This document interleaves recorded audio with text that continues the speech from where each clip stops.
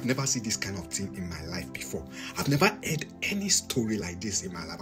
This is so, so, so, so, so ridiculous. Can you imagine that a lady took her dead uncle on wheelchair, on wheelchair to the bank to withdraw money, basically to withdraw, uh, to collect the loan which the uncle has already applied for months ago and was already approved. Yes, basically, the uncle applied for loan. You know, before his death, he applied for loan, which the loan was uh, later approved.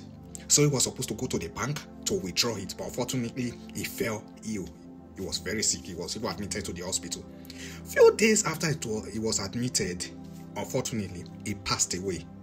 So it's maybe maybe he was not fully dead yet. Maybe if she had not, uh, you know, as soon as she noticed she was able to take him to the hospital, probably they would have revived him, you know. But instead of her to take him to the hospital, tell let the people around know, or you know, you know what she did?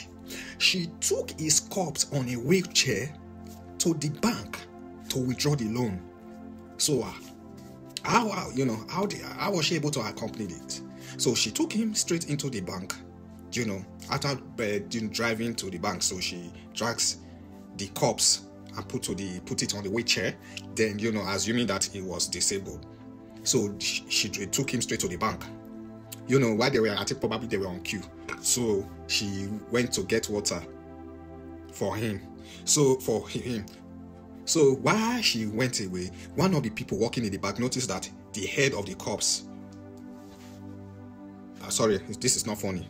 So his head was bent to the other side. So she went. That is one of the worker, uh, one of the bank employee, went to the uh, close to the corpse and um, tried to adjust the but she never knew.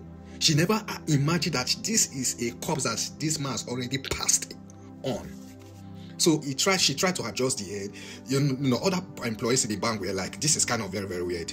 So when this lady came back, he brought the water pretending to give it to, giving it to the uncle, you know.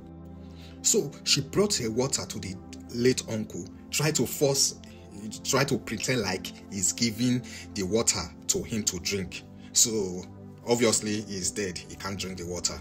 So when it was time for him to sign so that she could withdraw the money, you know, after maybe after they waited for a couple of minutes, you know. So he was holding the uncle's hand, the late the, the, the cop's hand, with a pen. Say, Uncle, please sign this thing now. But the uncle, the one of the employee was like, No, he's supposed to be the one signing. Why is it why is it like this? Then she replied that ah, that is how my uncle is, so that is how he do most times he doesn't talk. So he was so she was telling the cops that uh, don't worry, uncle, if your if your condition is really worse, I'll take you to the hospital. You understand? So this the people in the bar was like, this is kind of very, very weird. We need to do, you know, and one of them called the police. So when the police got there, you know, when they saw it, they found out that that that was a corpse, that that person is already dead.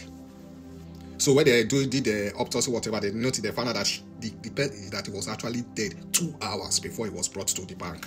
Yes. Okay, so I think this is that happened in Brazil. is this not surprising? Very, very surprising. Obviously, she will be charged for manslaughter. So the manslaughter could change it to murder because why they say manslaughter? Because it might be that she was not because it might be that she, she may not be the one that is directly responsible you know? All right. So uh, yeah. Guys how do you think what do you what do you feel about this uh, story? Is it not weird? To me it is very very weird. Yeah people get mind to you know out of desperation. She and the loan was around 2000 uh, plus dollars they're about ah. What? And before uh, before then, when they were in the bank, you know, so the lady will use hand to support the corpse neck so that it doesn't fall like this. You support the neck, hold the neck one kind, you know, so that it doesn't fall out. Do you know that if not for the fact that one of them they were not they noticed that they called the cops, they would probably she would have succeeded in collecting the money from the bank without them knowing that it was already dead. Don't worry, subscribe to my channel for more gist like this. Is your boy Afrolaff.